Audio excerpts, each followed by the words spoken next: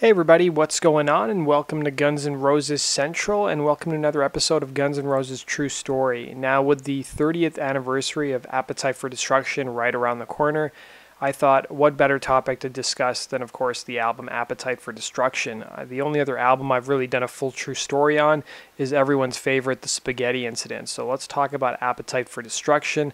I'm not going to give too much attention to the individual songs because I covered those in my true story episodes. I just want to talk about the album in general.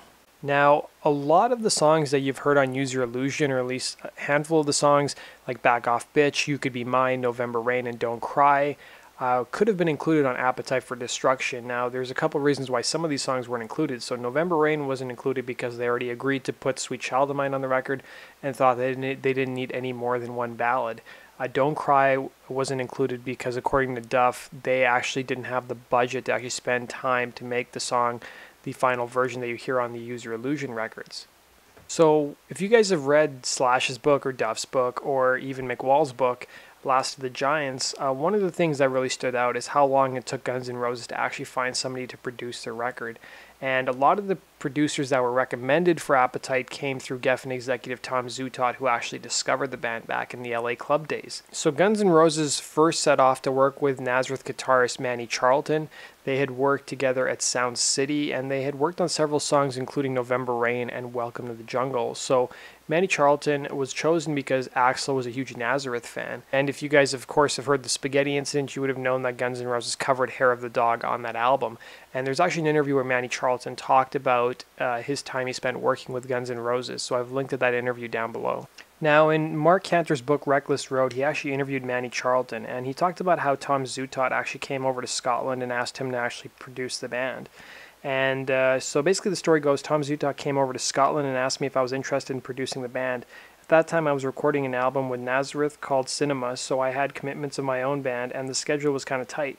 He asked me to come to LA and meet the band anyways. The board mixes that Tom brought with him weren't very good. I couldn't hear the vocals properly. I said to Tom, let's get to the bottom of this. Let's go to the studio, cut their set live, straight to two track, and I can listen to the songs and get a handle on it. When I arrived in LA, I was supposed to see them the next day for rehearsals. Tom picked me up to go to the rehearsal space, and there was nobody there. No, none of them even showed up. We hung around for a while, and I looked at him and asked, Are you sure you know what you're doing here? To me, that was not very professional to have a guy travel 6,000 miles to see a rehearsal, and none of them even showed up. We went to the studio for three days. I asked them to cut their set, everything that they were doing at the time. We just cut, li- cut it live off the floor studio. Axl was stuck in between two studio doors with a little window watching the band, and he gave it his all. He didn't bitch about it, and there were no tantrums about not being able to perform. He just got on with it. Manny talked about some of the standout songs he remembered from his actual sessions with Guns N' Roses. He said, I thought the standout songs were Welcome the Jungle and November Rain. Axl was playing the piano and Izzy was doing a little bit of background vocals and it was fantastic. That's when I went, wow, there's proper songwriting skills there and I thought I would really like to produce the album. Unfortunately for Manny, things did not end up working out that way. So Manny Charlton told Tom Zutaut, I told Tom about my commitments with Nazareth. What happened was I never heard from them after our sessions, and then Appetite came out. I got the feeling that Slash wasn't particularly impressed. I don't think he was as big of a Nazareth fan as Axl was. The only positive thing I heard from was from Izzy. He said Manny's really cool. And according to Manny Charlton, he said, ultimately, I think they wanted somebody who wasn't going to interfere with what they were trying to do and who would get a great performance out of them. They didn't want to be disciplined by anybody. They had their own internal discipline, and they didn't want that coming from anybody from the outside and tell them what to do. Following their sessions with Manny Charlton, uh, Guns N' Roses would start working with Spencer Proffer, or he'd be, they'd be working with Spencer around the same time. Now, Spencer had produced uh, a number of records at Pasha Studios with acts including Cheap Trick, Heart, Little River Band, Eddie Money, Beach Boys, Wasp, and uh, Quiet Riot as well. So Spencer talked about working with Guns N' Roses. He said, We went into Pasha Studios, worked on pre production for about a month, and we started making the record. We zeroed in on four or five songs that we started arranging. I worked with them in a rehearsal studio on constructing the arrangements, the breakdown, and vocal approaches. Randy was waiting for the results of our work so he could quarterback the rest of their touring and the next chapter of their career. Now, during the time Spencer was working with them, uh, he was also expecting his first child. So his wife was actually going to be uh, giving birth through cesarean section, and he actually had to call a band meeting to tell the band I need to go to the hospital at so and so time. Can you guys show up and we can just work for a set number of hours and I can go see my firstborn son uh, at the hospital. So here's what actually went down when he told the band to show up at a certain time. So he said the band would come into the studio every day late, drunk, stoned, or somehow effed up one way or another. I called a band meeting a couple days early, knowing that there would be a cesarean and that I wanted to be at the hospital spending the time with my family. I didn't want to abrogate my responsibility to work with the band, so I said to them, "Would you, on the day of the birth, show up on time? Come to the studio at noon, and I'll work for I'll work with you for five hours. Then I'm leaving to go to the hospital to spend the evening with my newborn son." They, of course, swore that they would. On the day, the hours passed, and they didn't show. Close to 5 o'clock, they show up collectively. Slash came in, and he couldn't wait to get to the bathroom, so he took his stick out and pissed on the wall of the studio. Axl went into the control room and he threw up on the control board and asked if I wanted to go party with him. When I refused, he told me to get effed, forget fatherhood, and that if I left, I was an asshole. He said either work with Guns N' Roses and rock or be a dad, but I couldn't do both.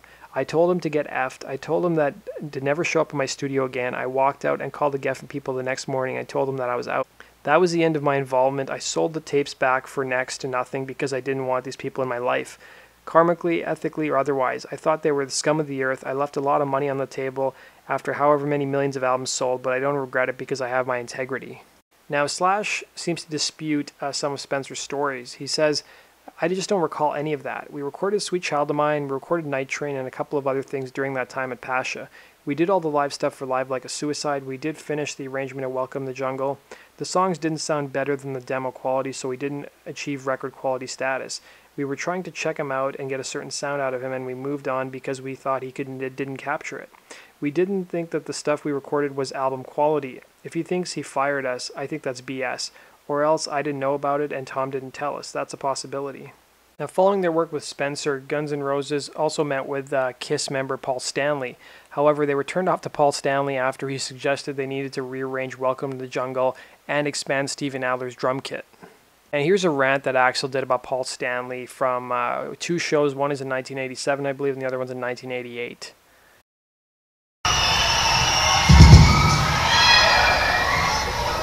Real quick, before we get into the next song, we did a few interviews downstairs. And it seems like there's a lot of older generation rock stars who got a lot of shit to say about us. And you see a lot of other bands, new bands, copying a lot of other people. Now we try to draw off things and learn some roots, but we ain't trying to be nobody but ourselves and have a good fucking time. Well, people like Paul Stanley from Kiss can suck my dick. And some of these old guys that say we're ripping them off, maybe they should listen to some of their early albums and remember how to play them. We met with Paul Stanley about a year ago. He came over, we had a little talk. We're talking about possibly producing our record. He listens to Welcome to the Jungle and he goes, this is a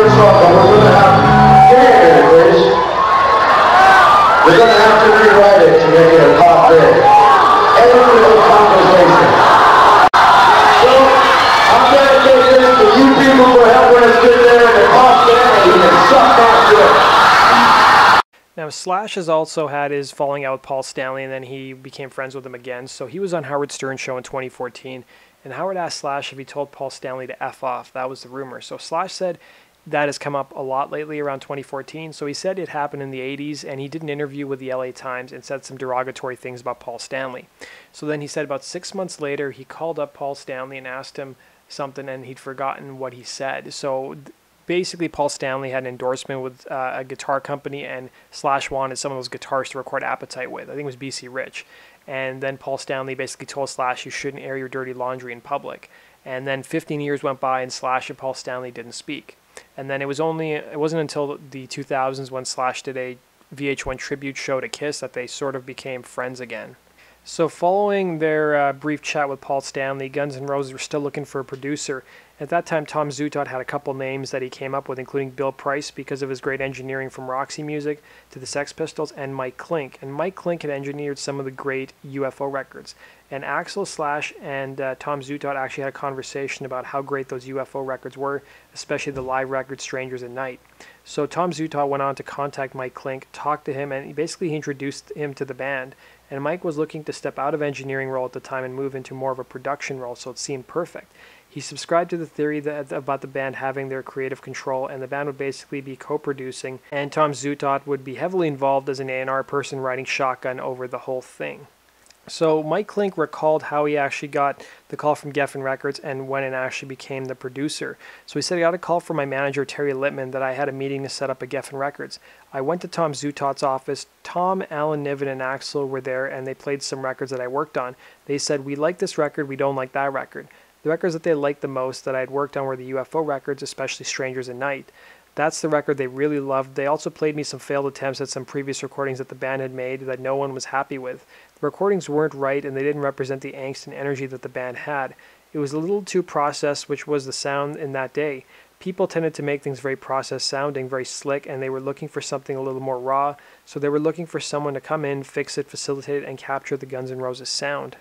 So basically, they set up with an idea of how to actually audition Mike Clink. So Mike Clink said what they wanted me to do was to go into the studio with them and record one song and see how it turned out. So we went into the studio and I recorded Shadow of Your Love. During that process, it was a matter of getting that band to trust me and understand that I had their best interests at heart. So after they had actually finished recording Shadow of Your Love, and basically given the mix of the song to the band, his phone rings at about 4 o'clock in the morning and it was Axl. He said, This is great. I love it. Let's start tomorrow. So that does it for this episode of Guns N' Roses True Story, where we took a look at the pre production for Appetite for Destruction and how Guns N' Roses found a producer for the album. So tune into episode two later this week when we're going to be talking about the actual recording. And tune in the whole week where I'll also be talking about the 30th anniversary and talking about the Apollo show, as well as my recap of Guns N' Roses Radio on Sirius XM. So thanks for watching, guys. Leave your comments down below. Hit the like button if you enjoyed the contents of this video, and if you want to see more, hit the subscribe button. And if you guys want to support my channel, you can always go to Patreon and pledge to my channel as well. Take care.